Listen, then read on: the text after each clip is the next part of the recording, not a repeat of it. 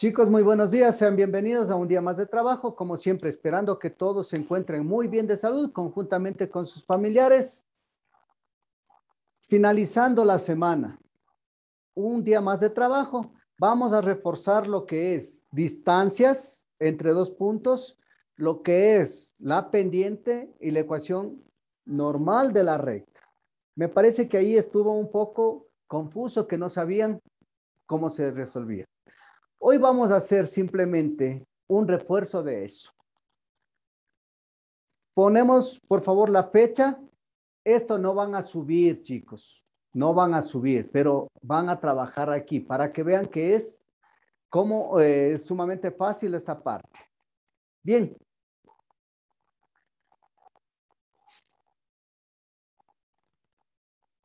Encontrar la distancia entre dos puntos, coma, pendiente de la recta y su ecuación, dados, dados,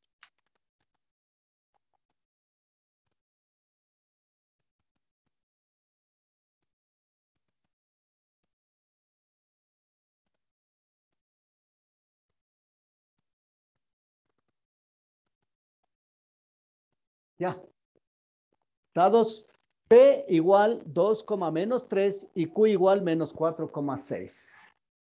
Listo. ¿Qué debemos hacer como primer paso, chicos? Háganme acuerdo. ¿Qué debemos hacer? Primer paso. Plano cartesiano. El plano cartesiano. Entonces, chicos, dibujemos el plano cartesiano. Todos, por favor, pero utilizando una reglita, no a mano alzada.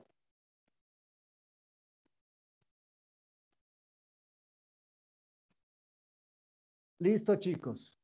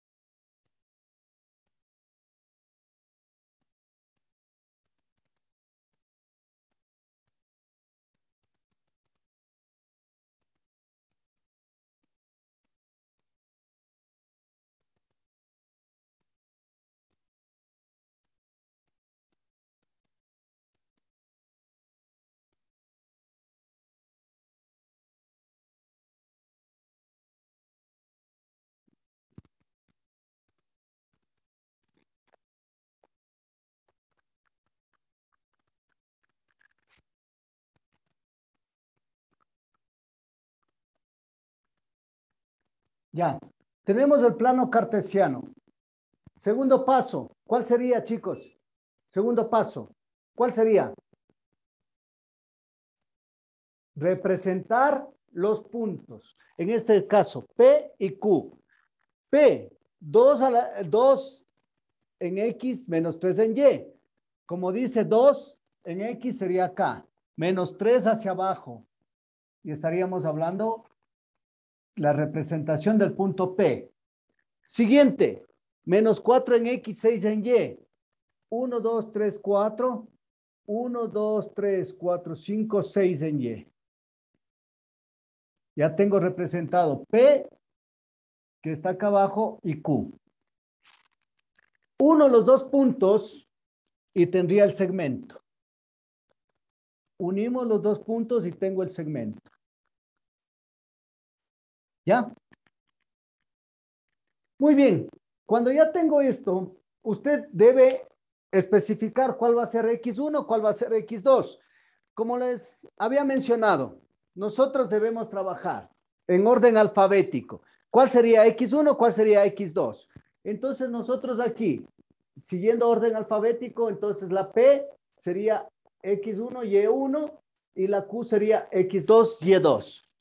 No se olviden eso. A ver, por favor, eh, Helen, ¿estamos haciendo? Sí, dicen, estoy graficando. ¿Ya?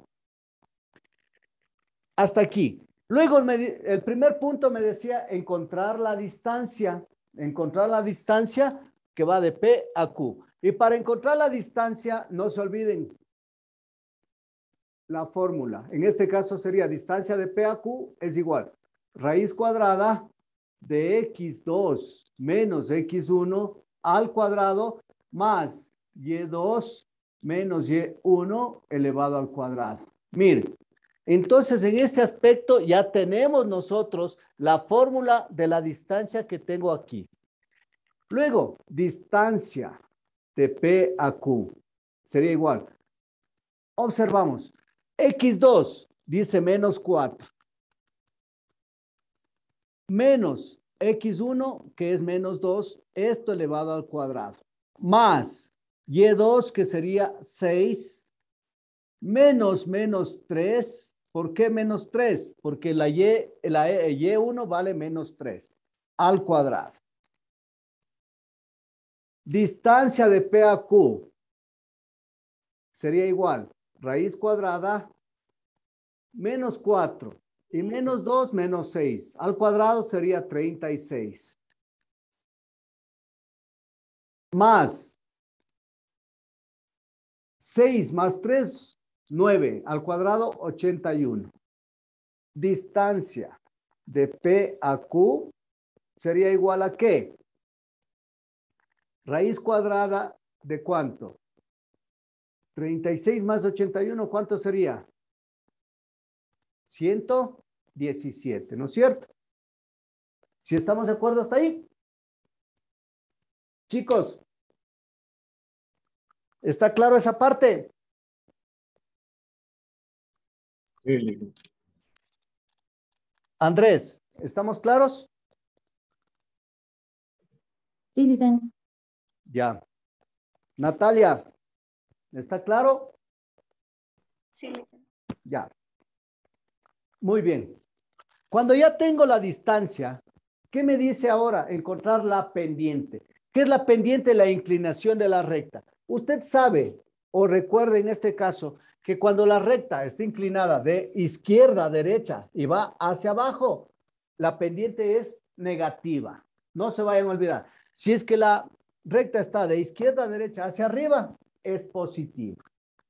Vamos a comprobar. Aquí ya sabemos que la pendiente va a ser negativa, ¿no es cierto? Va a ser negativa.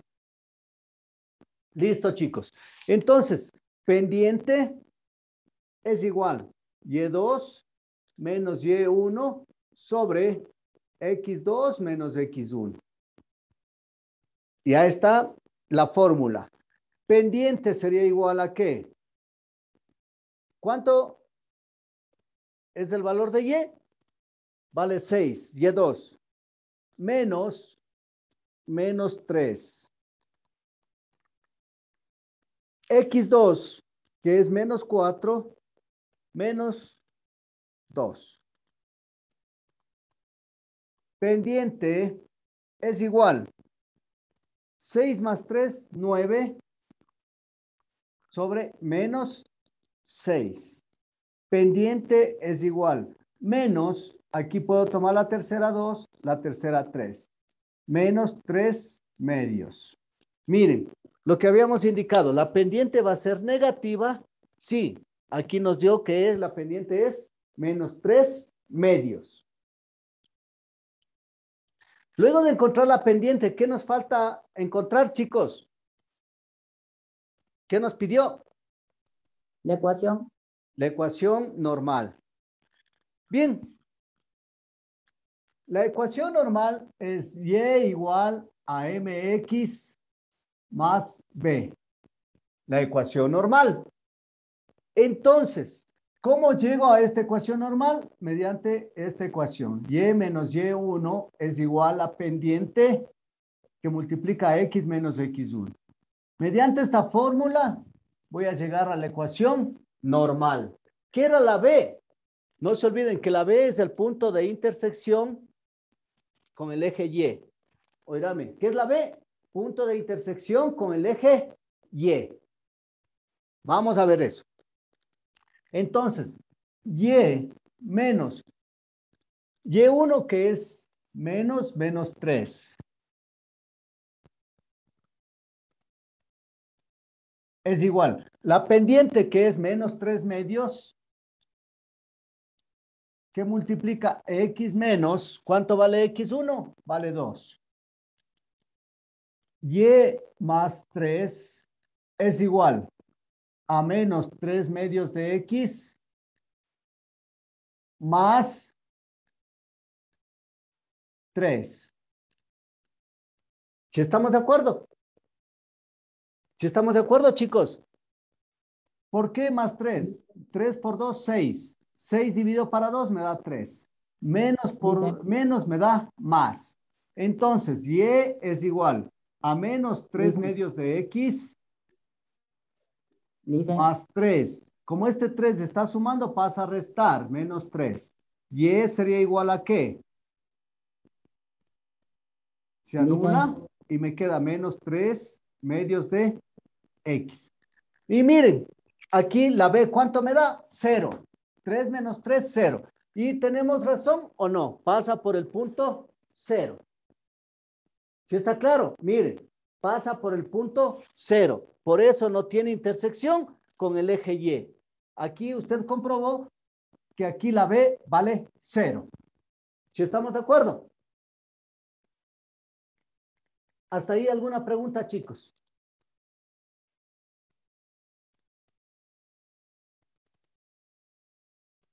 No escucho. Pablo, ¿estamos de acuerdo? Sí, listen. Ya.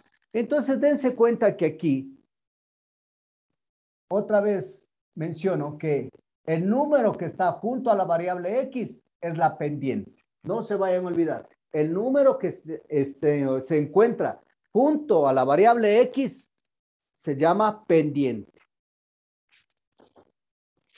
Y la B es el punto de intersección con el eje Y. ¿Preguntas hasta ahí, chicos? ¿No?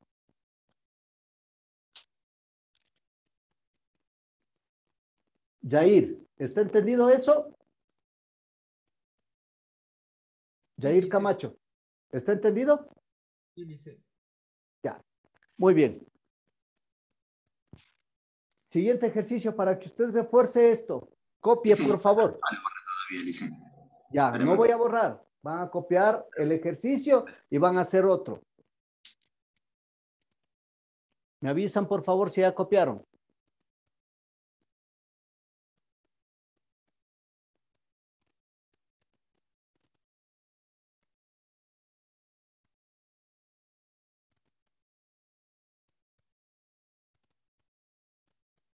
¿Ya? Siguiente ejercicio. Encontrar la distancia, coma, pendiente y ecuación normal de la recta,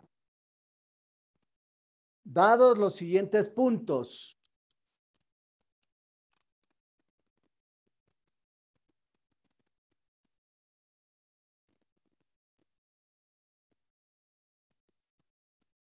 A igual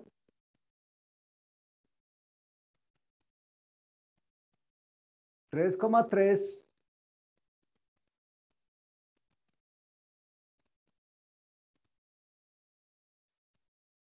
menos cinco coma menos dos. ¿Ya? No borro esto para que se guíen ahí. Primero, el plano cartesiano. Segundo, la representación de los dos puntos. Tercero, unir esos puntos y tenemos el segmento. Cuarto, la distancia. Cinco, la pendiente. Y seis, la ecuación normal. Ahí están todos los datos que usted debe utilizar para poder resolver ese ejercicio que se les acaba de mencionar. ¿Preguntas hasta ahí, muchachos?